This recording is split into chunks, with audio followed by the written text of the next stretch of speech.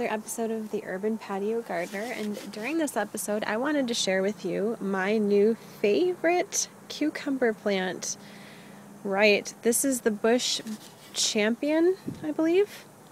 Um, and I will post a link below to the seed company's website for this type of cucumber. But um, basically, this cucumber plant is super abundant and super compact. As you can see, it probably takes up about two square feet um, worth of space on my patio. And for that two square foot worth of taken space I have one two three let's see four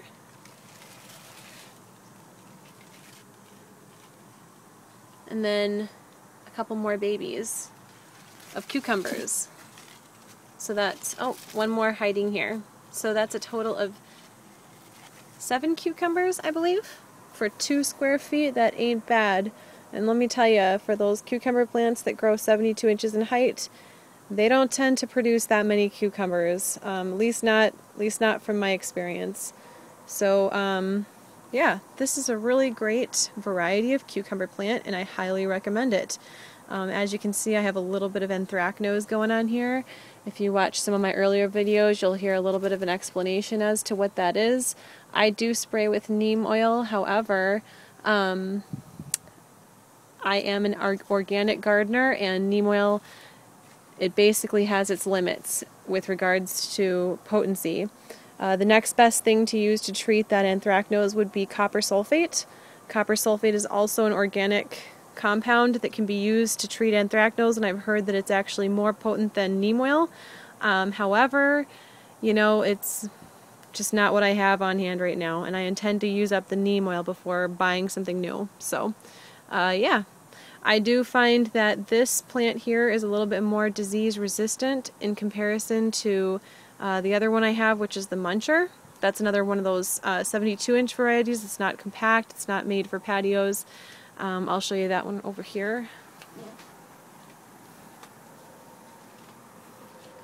Okay, so this one here would be the Muncher. And I feel that the uh, Bush Champion variety is quite a bit more compact. And you can kind of see more examples of the Bush Champion over here in the cucumber box. and I did, in fact, get confused and think that when these guys were seedlings, that they were actually the muncher variety. And so I placed them in the cucumber box, which has a huge trellis for them to grow up. And unfortunately, they're not going to be growing up to that uh, large a height. But now I know, um, and now I know what I'm going to be buying for next year. And so, you know, as I mentioned in my introductory video, I'm learning as I go here. I have two years worth of experience, and this is how you learn. This is how you learn to garden. Um, trial and error and um, reading, taking as much information in as you can. So yeah, well, I just wanted to share this video with you. Yeah, Bush Champion. I highly recommend it. Thanks. And uh, let me know in the comments section what's your favorite cucumber plant and why.